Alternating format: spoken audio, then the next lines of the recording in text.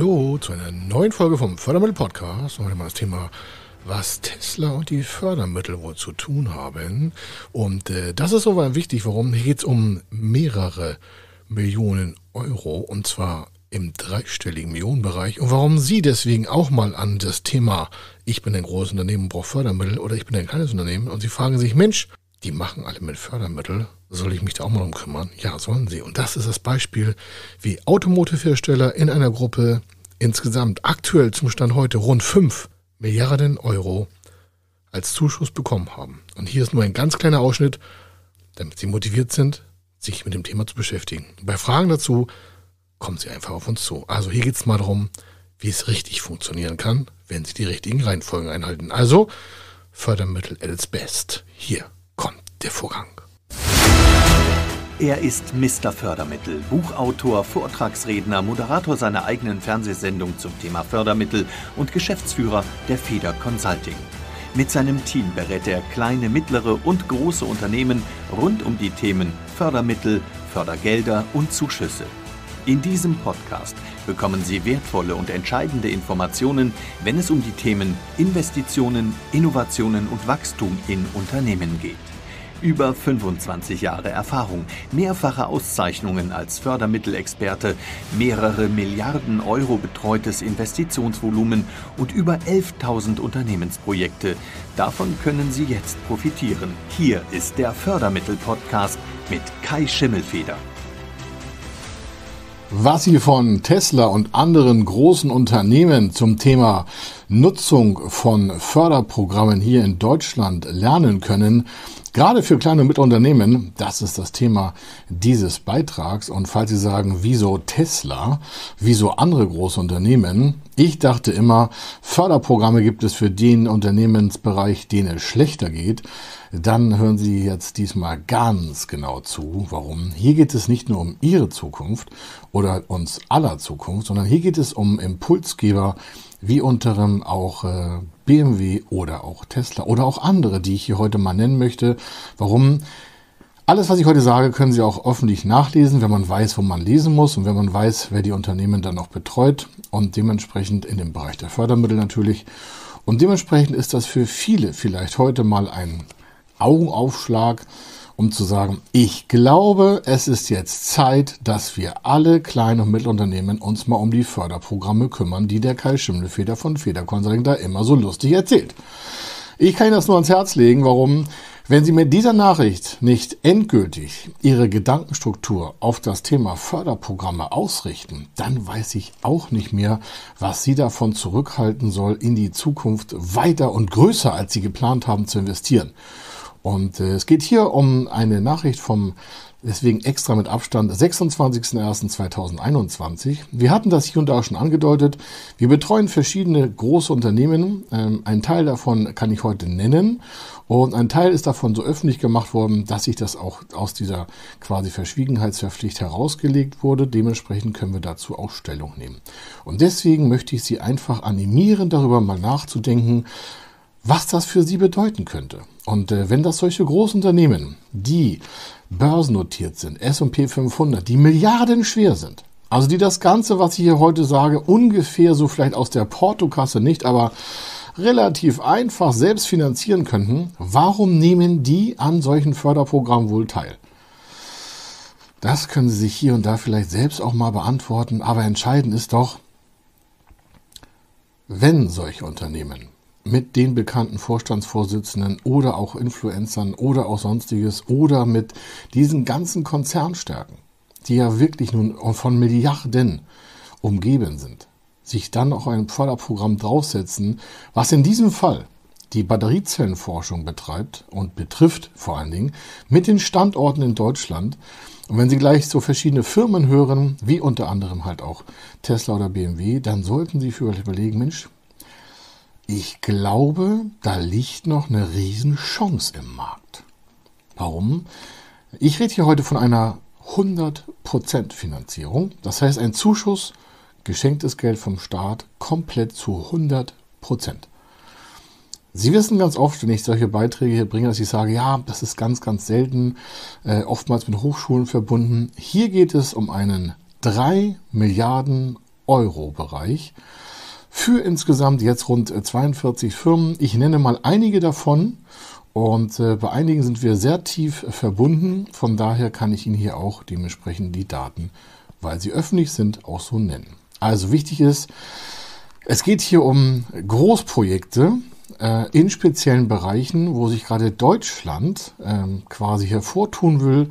Und das ist das Thema Batteriezellfertigung. Das ist ein sogenanntes extra ein IPCEI-Programm. Das ist quasi ein Programm, das eine besondere Bedeutung für den europäischen Wirtschaftsraum hat.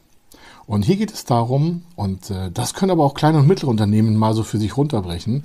Also es muss nicht der Konzern sein, sondern es geht auch für kleine und mittlere Unternehmen. Aber hier sind es mal also 42 Unternehmen, die das einfach gar nicht quasi bräuchten. Die können das auch selber machen. Aber es dient einer gemeinsamen Sache, den Standort Deutschland zu festigen. Also, ich lese mal ein bisschen was vor, damit Sie den Originaltext haben. Und äh, hier ist es halt so, dass die Europäische Kommission das von Deutschland koordinierte schon zweite europäische Großvorhaben zur Batteriezellfertigung mit dem Titel European Battery Innovation, äh, also EU-BAT-IN, so ist die Abkürzung, also European Battery Innovation, genehmigt hat. So, und äh, damit ist der Weg frei für die Förderung von elf Unternehmen mit Standorten in Deutschland durch das Bundesministerium für Wirtschaft und Energie damals, jetzt heißt es ja Bundesministerium für Wirtschaft und Klimaschutz, und von insgesamt 42 Unternehmen aus zwölf Mitgliedstaaten von ihnen jeweiligen Regierungen ist also das Ziel, wettbewerbsfähige, das ist entscheidend für sie, innovative, noch entscheidender und nachhaltige Batteriewirtschaftungsketten in Deutschland und Europa aufzubauen. Das heißt also, das sind Problemstellungen, die wir heute schon erkennen können, die in der Zukunft gelöst werden sollen. Sie merken schon, Problemstellungen heute erkannt, in der Zukunft gelöst werden, das kann ich auch, genau. Das können Sie als kleines und mittleres Unternehmen auch. Dazu muss man kein Konzern sein. Denn gerade für kleine und mittlere Unternehmen gibt es ganz viele Förderprogramme. Und wenn diese großen Konzerne, diese Riesentanker, hier schon drei Millionen Euro bekommen, ich weiß nicht, warum sie darauf verzichten. Ich sage es ganz offen.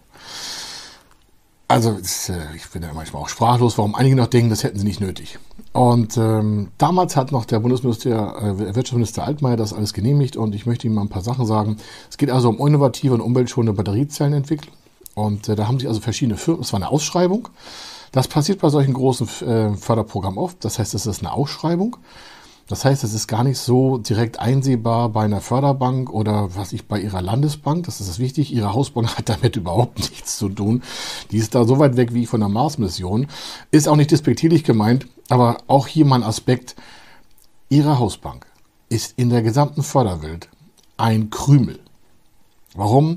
Von über 5100 Förderprogrammen, wenn Sie, wenn wir es mal ganz nett sehen haben die, Förder haben die Hausbanken 200 Programme, die sie verwalten und vermitteln dürfen. Von über 5100. Das ist nicht böse gemeint, aber wenn Sie manchmal denken, so, oder ich höre das ja auch ganz oft in Vorträgen, ja, meine Hausbank berät uns da schon. Ich sage, das äh, kann gar nicht sein. Das kann gar nicht sein. Warum? Eine Hausbank kann Ihnen keinen Zuschuss schenken.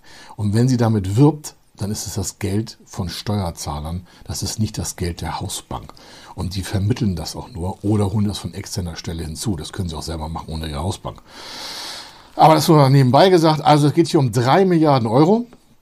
Und äh, dabei ist halt äh, verschiedene große Unternehmen. Und ich äh, lese mal vor, damit Sie merken, ho, da geht es aber um die Wurst. Und das können Sie auch von diesen großen Unternehmen lernen.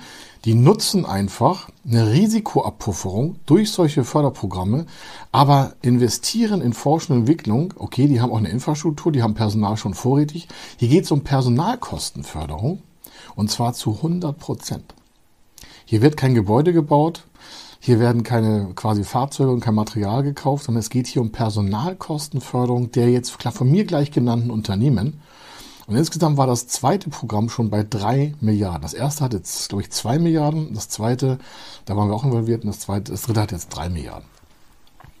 Und äh, das, das läuft aktuell noch. Also nicht das Programm, aber die Aktivitäten in dem Programm der von mir genannten Firmen. Ich mache mal es kurz, ich lese mal ein paar vor, damit Sie schon mal einen Eindruck bekommen, und wichtig ist, dass Sie da auch mal ein bisschen reingucken in Zukunft, dass Sie merken, warum sind die großen Unternehmen schneller wie Sie, warum die, sind die größer wie Sie, warum machen die mehr Gewinne wie Sie.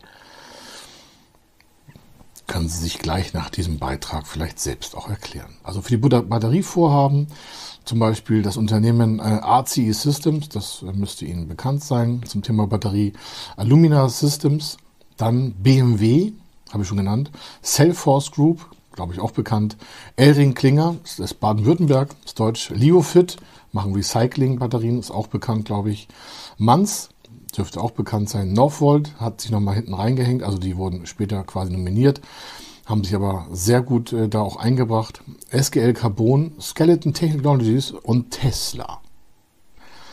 Das heißt also, Sie wissen ja, diese Tesla-Firma, ne, der Typ, der zum Mars rennt und den wir zum Beispiel auch in unserem ersten Podcast äh, mit SpaceX haben begleiten lassen. Das heißt, falls Sie unsere erste Podcast-Folge hören, dann äh, oder noch nicht kennen, dann hören Sie auf jeden Fall. Da ist die Originalkommunikation von der SpaceX ähm, quasi Startrampe.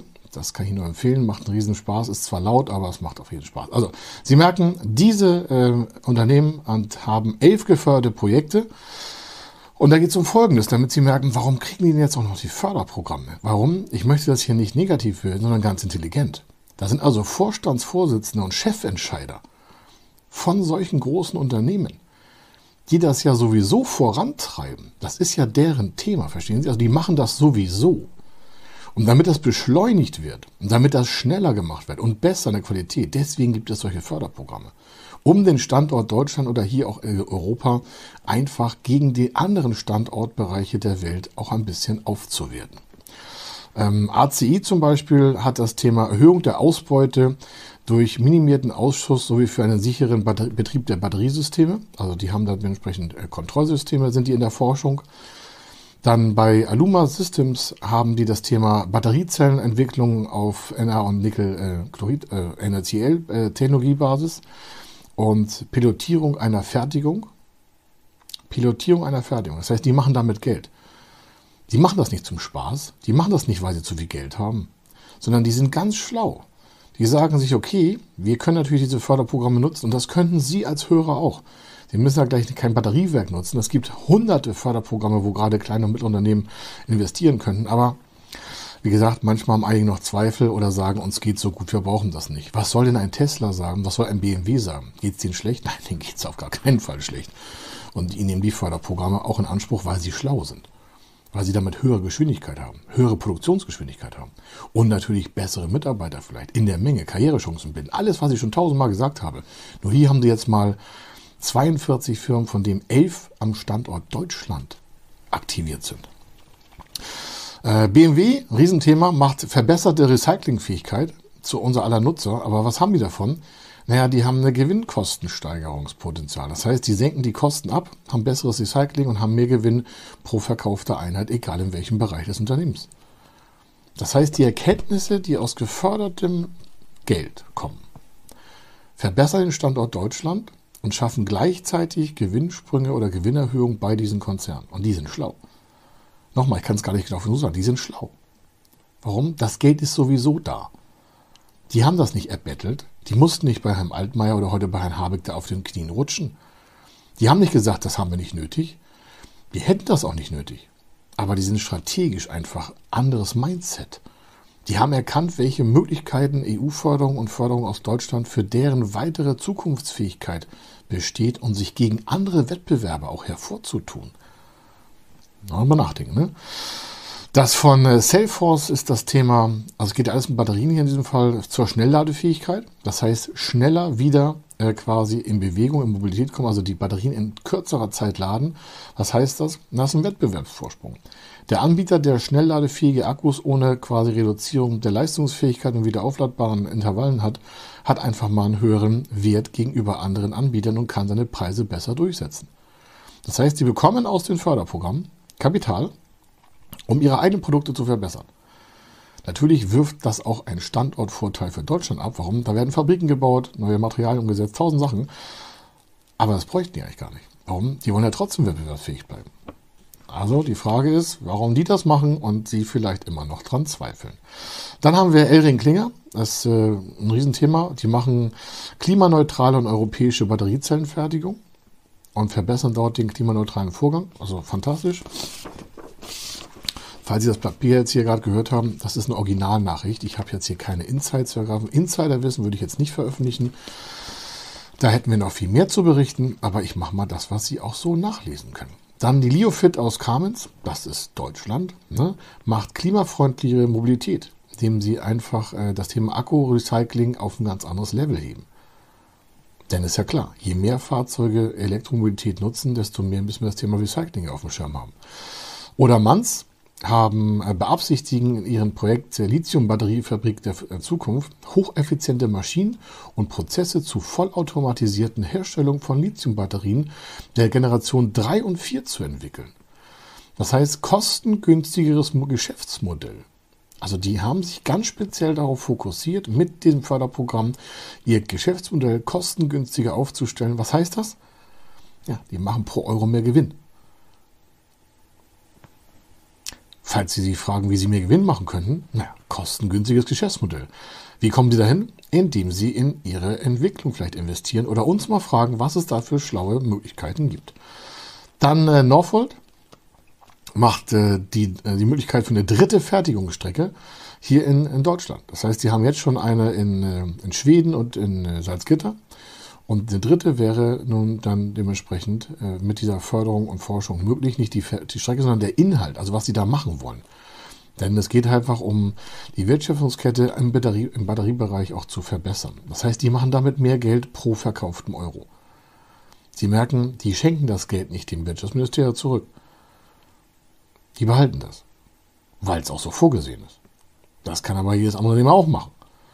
Wenn es um Zuschüsse geht, müssen sie es nicht wieder zurückschicken.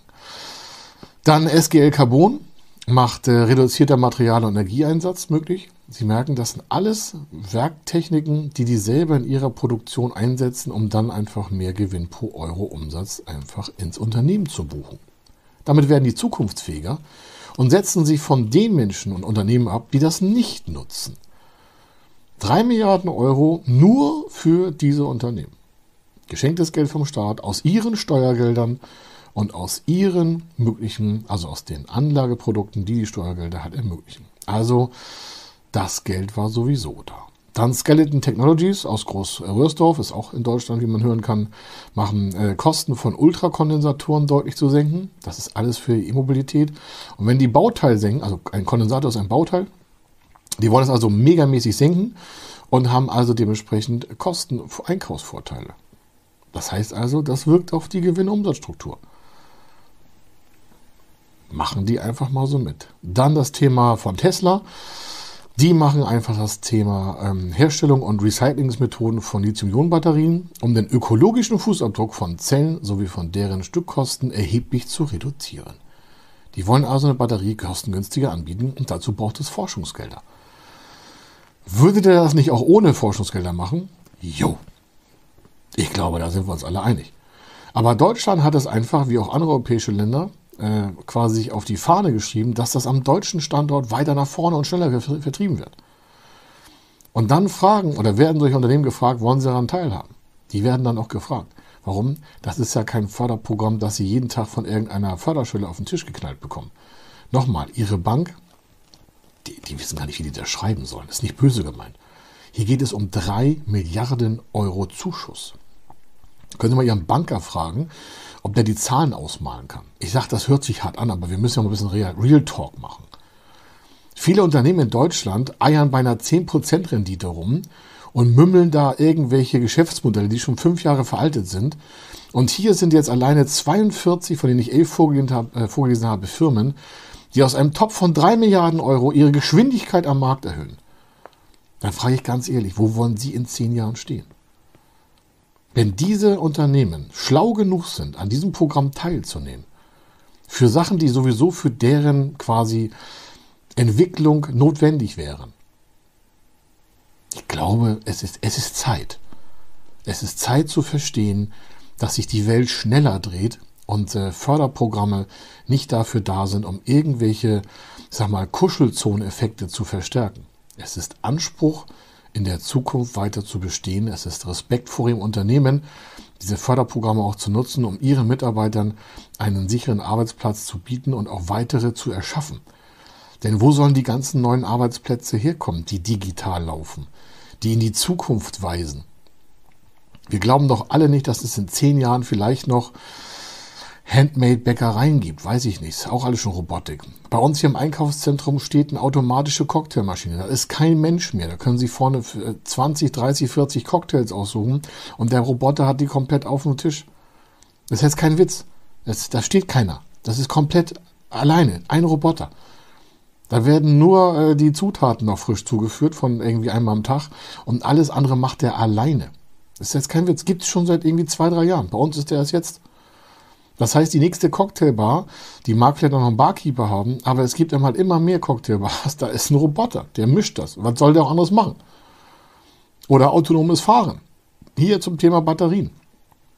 Ja, natürlich können wir alle sagen, es wird immer noch irgendwelche händischen Arbeiten geben. Das glaube ich auch. Aber diese Zahl wird sich dramatisch reduzieren. Die Frage ist also, was machen wir Unternehmer und was können wir von diesen Unternehmen lernen, die sich trotz der Milliarden, die sie auf dem Konto haben oder Gewinne schaffen oder sowieso zukunftsfähig sind, was können wir davon lernen? Ich glaube, das kann ich hier mir jetzt selbst überlassen. Ich habe genügend Aspekte geliefert. Ich kann Ihnen nur sagen, folgen Sie unseren Beiträgen, dann sind Sie eigentlich immer ein Schritt weiter in der Zukunft, als Sie sich vorstellen können. Das, was Sie bei uns am Tag lesen, ist eigentlich schon ein, zwei Jahre alt. Warum? Wir sind den ganzen Programmen ja ein, zwei Jahre voraus. Warum? Wir kümmern uns um diese Programme, die erst vielleicht noch in der Entstehung sind. Natürlich machen wir auch KfW-Förderkredite, wir machen auch Eigenkapitalförderprogramme. Das machen wir alles gerne. Aber wenn Sie wirklich ins Wachstum wollen, wenn Sie wirklich sagen, also jetzt, jetzt habe ich es hab auch so, langsam habe ich es auch mal durchblickt. Ja, dass Investitionen grundsätzlich über die Förderkreditberatung und Fördermittelberatung, Eigenkapitalberatung, Zuschussberatung von Feder Consulting sinnvoll und intelligent ist, ich weiß, da spreche ich die nur an, die noch nicht unsere Kunden sind. Und die möchte ich hier auch erreichen. Und die, die schon unsere Kunden sind, möchte ich nur bestärken, ja, sie haben das Richtige getan. Warum? Sie haben den Anschluss nicht verpasst. Den anderen, die sich immer noch selber mit ihrem Eigenkapital und ihrem Cashflow bemühen, die Zukunft zu gestalten, kann ich nur sagen, warum machen sie sich das so schwer?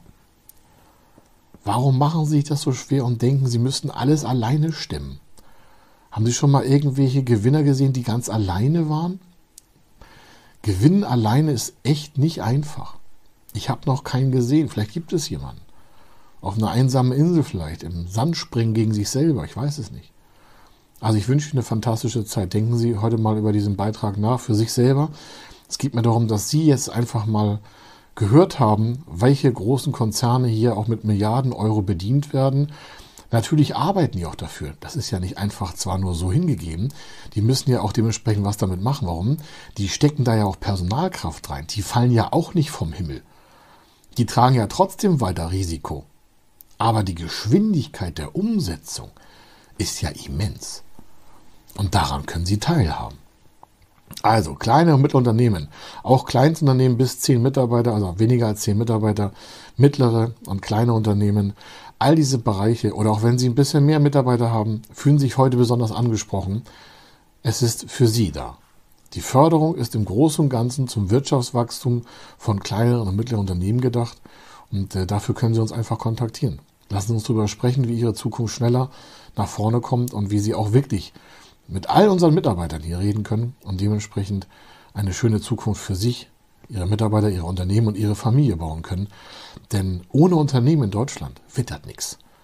Aber wir Unternehmer müssen jetzt auch mal die richtigen Werkzeuge nutzen, die andere schon längst für sich im wahrsten Sinne des Wortes begriffen, also in der Hand haben. Und wenn Sie den Anschluss nicht verlieren wollen, melden Sie sich bei uns unter www.fördermittel-testen.de gibt es einen Fördermittelcheck. Fördermittel-testen.de gibt es halt diesen Fördermittelcheck, haben Sie schon öfter gehört vielleicht. Oder rufen uns an oder schreiben uns eine E-Mail, service at federconsulting.com oder rufen uns an auf unserer Webseite www.federconsulting.com. www.federconsulting.com ist äh, eine Telefonnummer im Impressum auf der Webseite. Kannst eine E-Mail schreiben. Wir sind nie weiter weg als das nächste Telefon oder die nächste Tastatur. Also, Fördermittelberatung von Feder Consulting ist quasi schon in Ihrem Handy drin. Sie haben keine Probleme mehr, mit uns in Kontakt zu treten. Ich wünsche Ihnen eine fantastische Zeit. Bleiben Sie erfolgreich. Bleiben Sie gesund. Ich wünsche eine schöne Zeit für sich, für Ihre Mitarbeiter, für Ihre Familie. Und ich wünsche, dass wir uns kurzfristig hören oder sehen. Oder wiedersehen, falls wir uns schon mal gesehen haben. Oder wiederhören, falls wir uns schon mal gehört haben. Hier war der Kai Schimmelfeder. Mit vollem Herzen für Sie, mit dem ganzen Team von Feder Consulting stehen wir an Ihrer Seite zum Thema Fördermittelberatung und Finanzierung für Unternehmen. Bis dann. Tschüss. Wenn Sie wissen wollen, ob Ihre geplanten Investitionen förderfähig sind und wie Sie zu den richtigen Förderprogrammen kommen, dann gehen Sie auf die Website www.fördermittel-testen.de. Dort können Sie Ihre Projektdaten an das Team von Feder Consulting übermitteln und erhalten dann ein Ergebnis zu den möglichen Förderprogrammen gesendet. Viel Erfolg und eine gute Zukunft.